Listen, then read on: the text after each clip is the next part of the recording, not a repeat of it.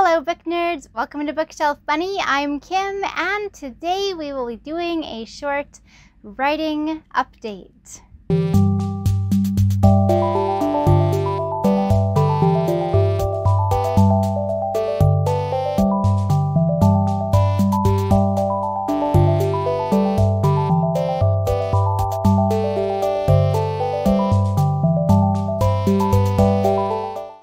Hey guys!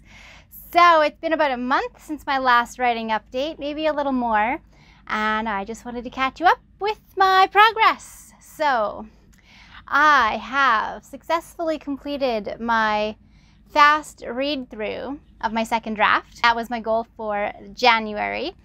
And the purpose of my fast read through was to look at my story from the eyes of a reader rather than the eyes of a writer. Go through that second draft just get a feel for it. Catch the plot holes. Notice the things that I would notice in someone else's story, but in my own. so I did that, and that was really good. I went through it real quick, probably in about two weeks. And then it was time to begin the reverse outline, also known as a book map.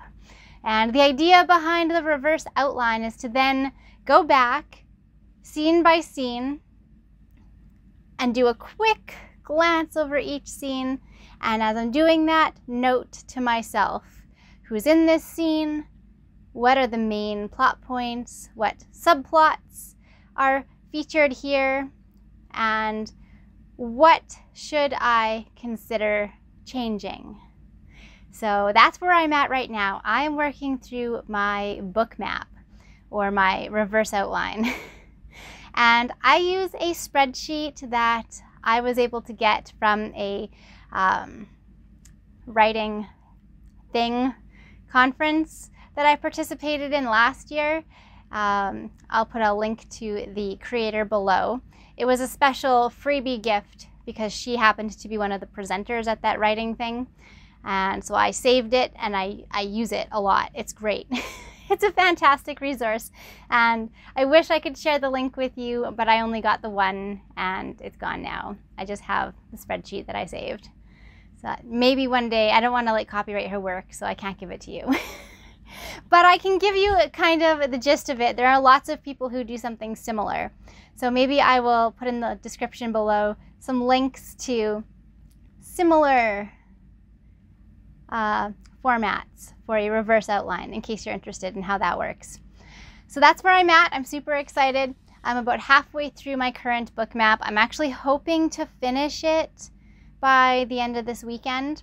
And after that, I'm going to spend the rest of February, the last two weeks of February, working towards picking apart those scenes. So once I have created a map for myself as to what my story looks like at this moment, and what I might want to change.